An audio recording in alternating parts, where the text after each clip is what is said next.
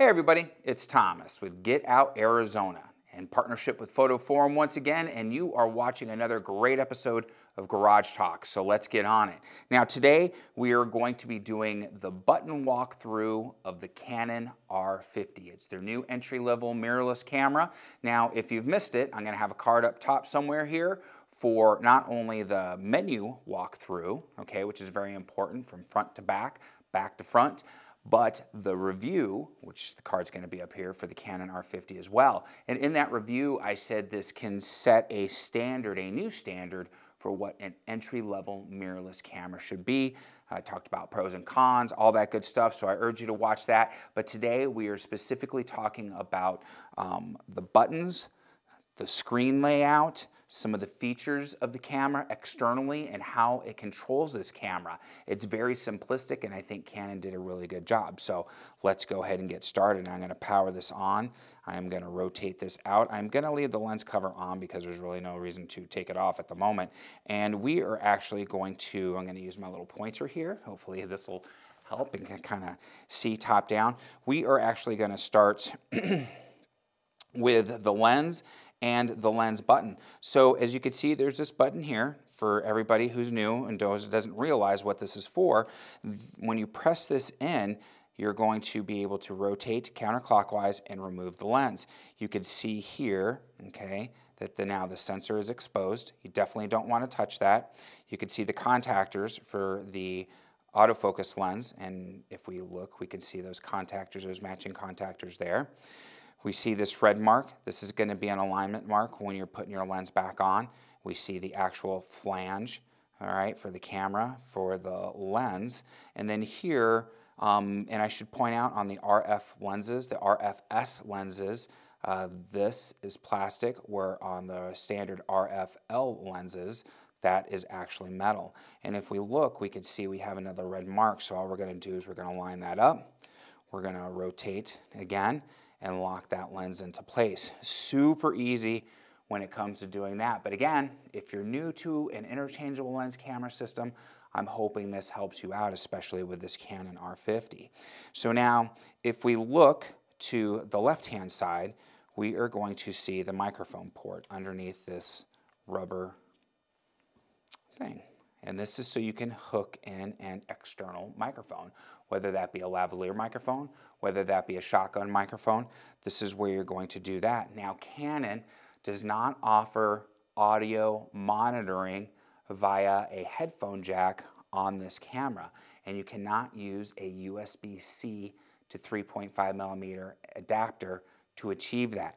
So there is no other audio auto monitoring except for your audio levels that you'll see on the back screen when recording video. But this is for your external microphone, all right? Gonna pop that back into place. And if we turn it around to the other side, all right, we are going to see our USB-C port. Now you can use a cable, uh, Rode makes a cable that's USB-C to Lightning that allows you to hook this up to your iPhone specifically for transferring photos. So this way you don't have to use the wireless app if you don't want to. And then we have a micro HDMI cable right here, all right? This is gonna allow you to connect to an external monitor, such as a Shinobi or a SmallHD, or um, there's a variety of other manufacturers that do that. You can hook this up to your TV, I guess, if you were so inclined as well. Um, so um, your computer, if you want to use this as a webcam or get feedback for vlogging, have that turned around and get some feedback. So that's good. And with a an $800 entry-level camera having a micro HDMI doesn't surprise me. That's that's par for the course. So um, I wouldn't look at that as a, a bad thing uh, any any way, shape, or form. So we're going to put that cap back on there. Nice little weather-resistant cap. Um, certainly not weatherproof, we want to make that distinction. And if we look, we have a lug on this side and a lug on this side for our camera straps.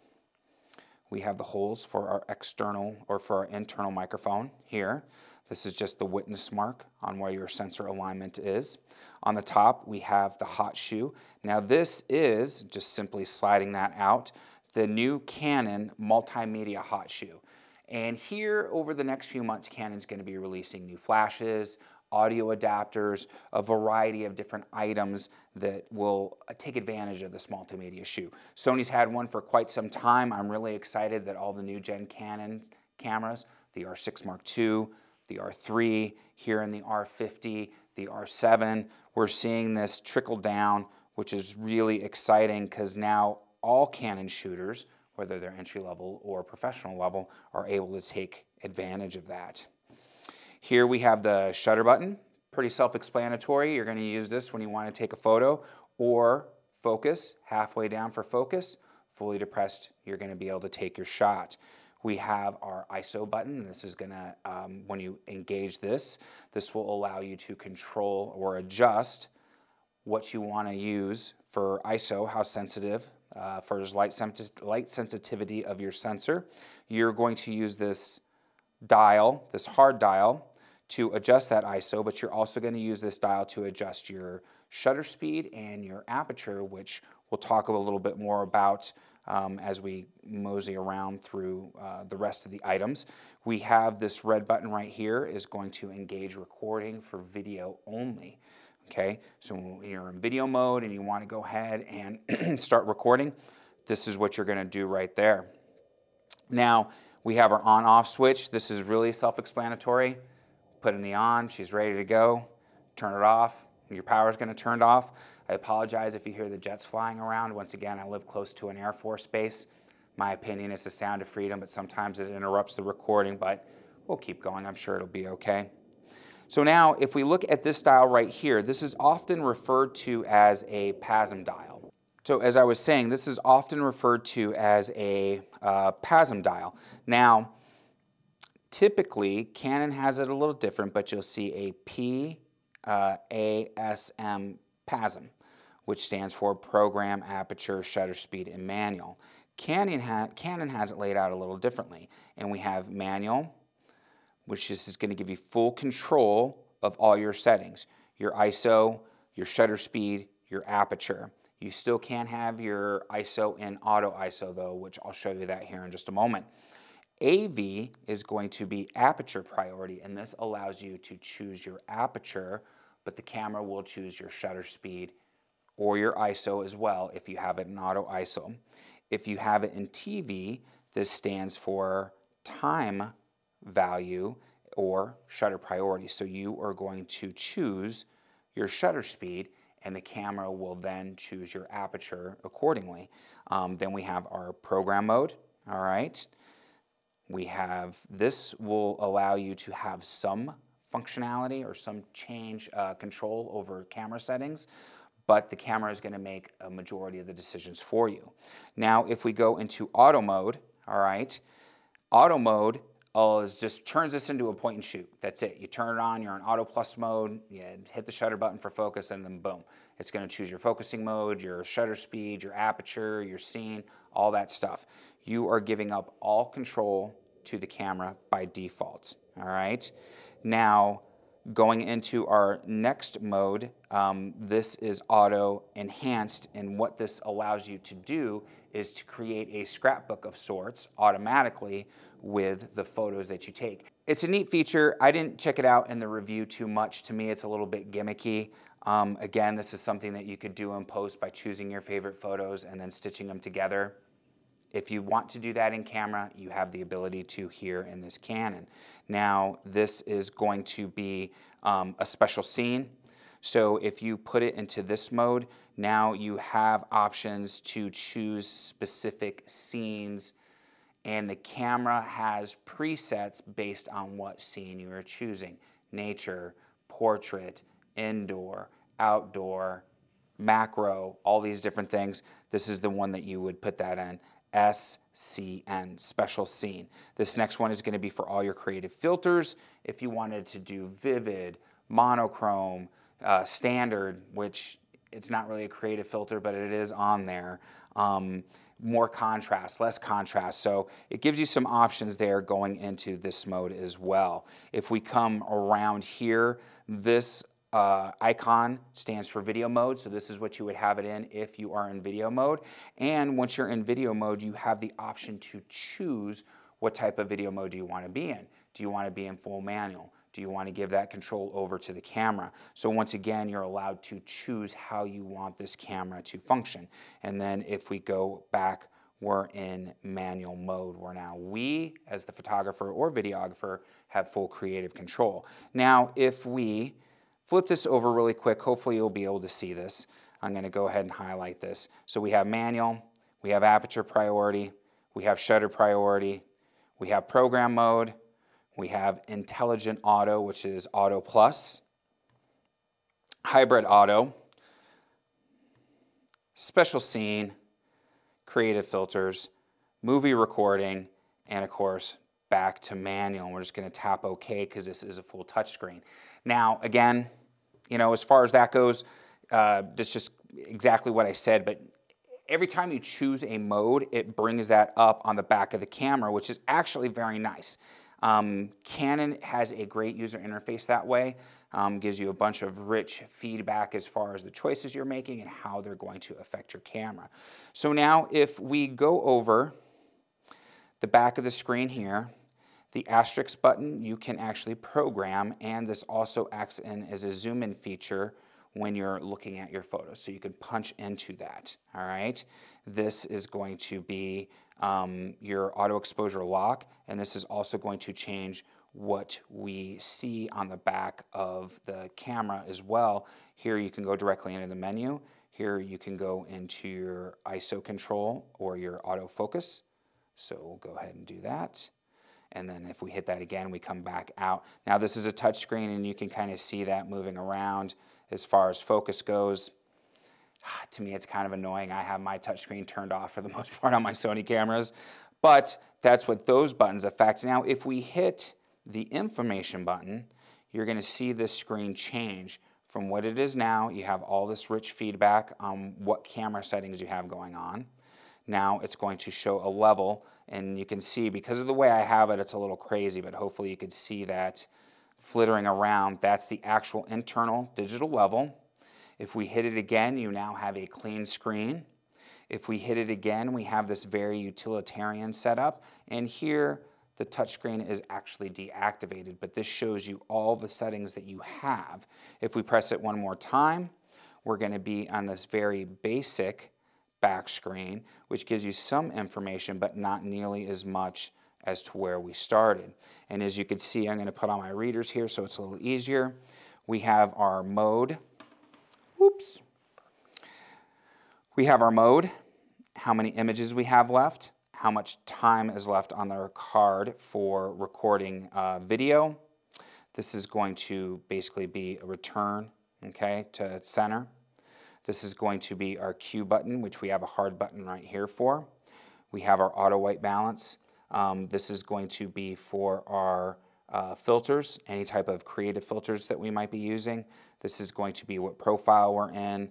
Um, this is also, now we have our creative filters off, and this is why this is grayed out. Our aspect ratio, um, we have our, this is going to be magnifying in, oops, let's go back here, magnifying in. If we actually uh, were doing manual focus, we would hit that, and that's going to be our focus assist, okay? So we're going to back out of that. We have our ISO. We have our exposure. As you can see, I'm horribly underexposed because the cap's on. Um, we have our aperture, which you can see here. And then we have our shutter speed, all right? This is the mode that we're in for uh, drive, high, with electronic shutter, all right? This is going to be our metering, which we have evaluative. We are shooting raw. We are an animal priority as far as recognition, not person priority, and I'll show you how to change that here in a minute. And then we are in servo, which is going to be continuous focusing mode, all right? And we're gonna let this jet finish flying over. I apologize, my friends, um, for that. It happens you know, sometimes. Now, if we finish looking at the hard buttons first before we come over here, all right, if we press in the Q center button, okay, that's to choose and that's also to bring up the quick menu, all right? And from the quick menu, and you can see how it correlates with those icons, here I can change the type of focusing that I want to do, AI focus, servo focus, one-shot focus. I can change um, subject detection.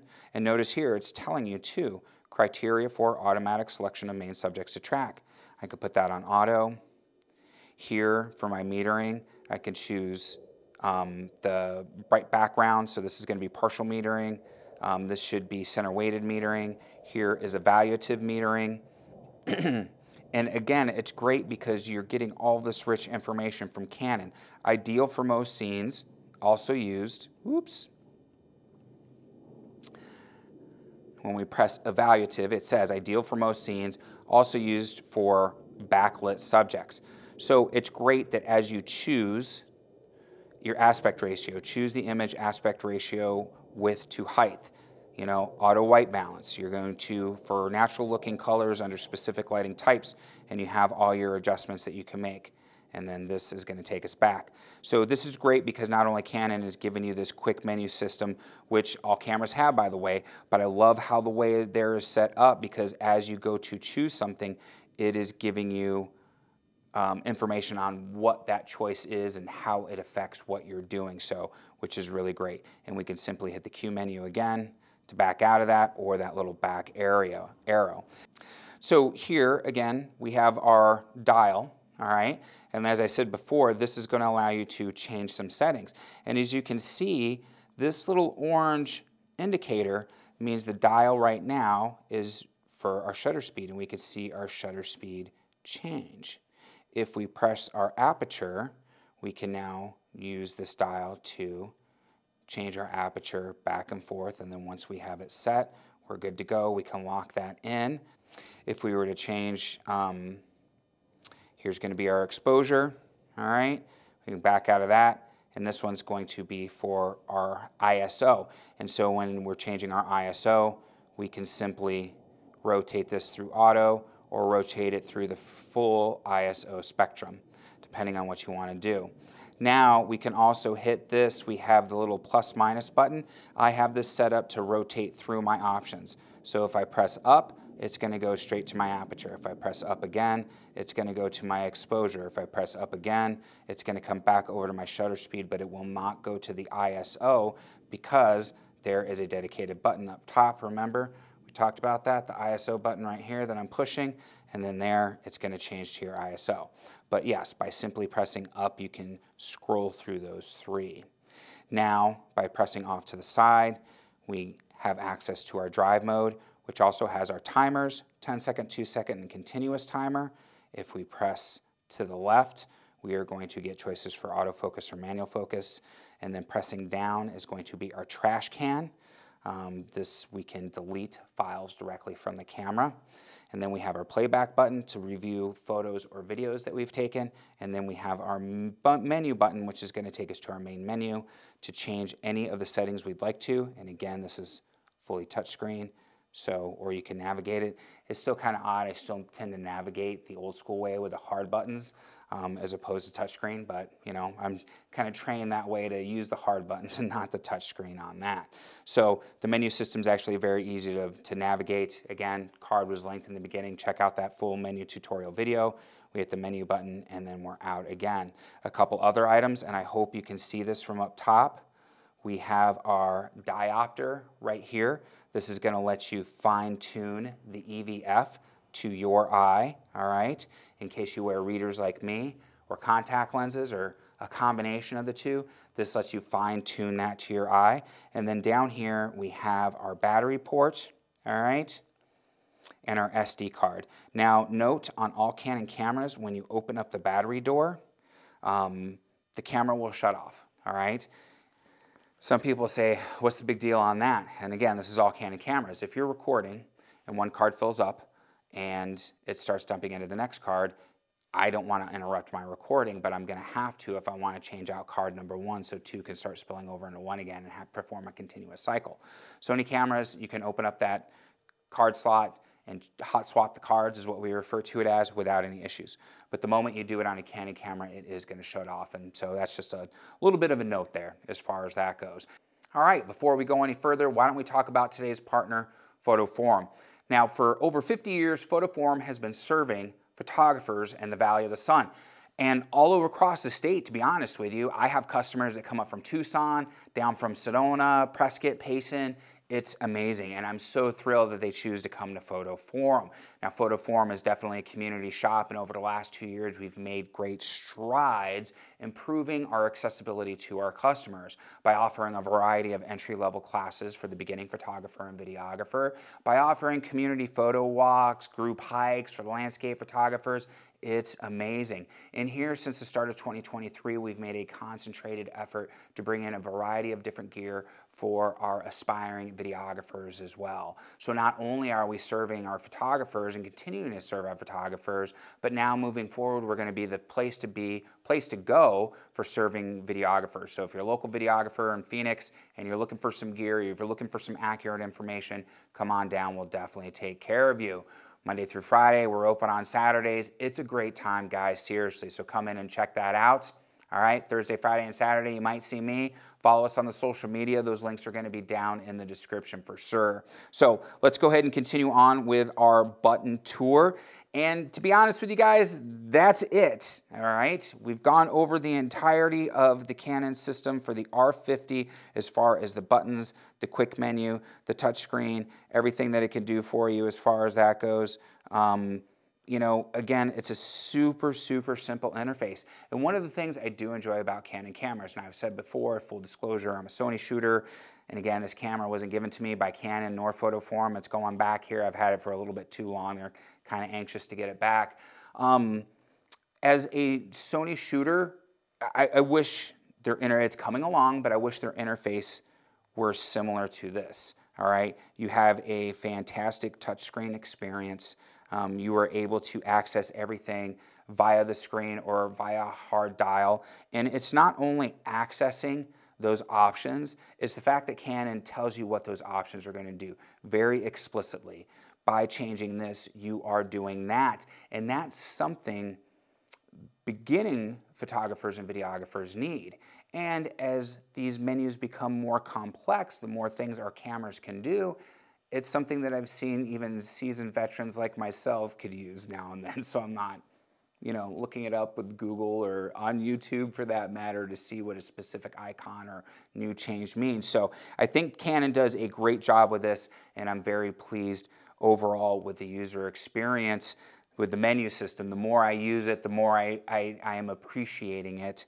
Um, especially as again as a Sony user, I wish we had some of these refinements on on those cameras. So there it is, my friends, the Canon R50 button tour. I hope you got something out of this video, and if you did and you made it to this point, hit the like, subscribe, bell notification icon. It's the trifecta we enjoy so much here at Get Out Arizona. Helps out the video, helps out the channel. We are going to have some social media down below for Foto Forum, number one, the Instagram and Facebook, and we'll have Instagram, TikTok, Facebook for Get Out Arizona. It's the devil's work, but it's needed because that's where we announce all group hikes, all group bike rides. It's a lot of fun. We're a very interactive group here.